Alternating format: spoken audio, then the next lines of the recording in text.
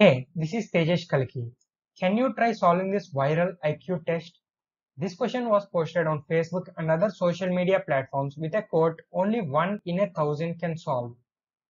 In this video, I am going to explain the most believed answer to this problem. Pause the video and give this problem a try and when you are ready, keep watching for the solution. Most people believe that the answer to this puzzle is 96 and here's how they have got the answer. In the question, when they have meant a plus b, they actually meant a plus a into b. For example, 1 plus 4 is actually 1 plus 1 into 4, which is nothing but 5. And similarly, 2 plus 5 is nothing but 2 plus 2 into 5, which is nothing but 2 plus 10 or 12. Similarly, 3 plus 6 is nothing but 3 plus 3 into 6. By adding this, we get 21. In the same manner, 8 plus 11 actually mean 8 plus 8 into 11, which is nothing but 8 plus 88 or rather 96. And this is how they have got the answer. But some people does not agree with this answer. They thought that the problem should be interpreted in another manner. Let's see how that is. They believed that the answer is 40 because they have assumed that we should interpret this as a running total problem. That is, the first line is actually 1 plus 4, which is nothing but 5. This is algebraically correct.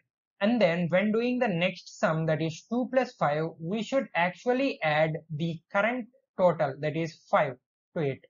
So total 5 plus 2 plus 5, we get 12. And then to the next line of 3 plus 6, we should add this 12. So we get the total of 12 plus 3 plus 6 which is nothing but 21. By following this sequence, the next sum should be 21 plus 8 plus 11 which is nothing but 40 and that's how they have got this answer. So therefore, these two different answers have caused quite a controversy in the social media. But there is actually a way to combine both of these answers to get the same result of 96. Let's see how that is. We can try extending this running total interpretation. If you observe carefully, the first numbers are 1, 2 and 3. They are in a sequence, right? Similarly, the second numbers are also 4, 5 and 6. They are also in a sequence. Following this sequence, the first number in the next line should be 4 and the second number should be equal to 7. So therefore, the next line should be 4 plus 7. By adding the previous total of 21 to this, we get the total of 32. And similarly, the next line should be 5 plus 8 and adding the previous total of 32, we get the total 45.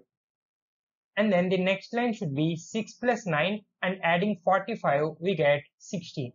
And the line after that should be 7 plus 10 and adding the previous total of 60, we get 77. And finally, we reach the term 8 plus 11 and adding 77 to it, we get the total of 96. So therefore, we got the same answer of 96 in two different methods. So we can assume that 96 is actually the correct answer to this problem. Did you get to the answer of 96? Thanks for watching the video. If you want to see more such videos, please subscribe to the channel.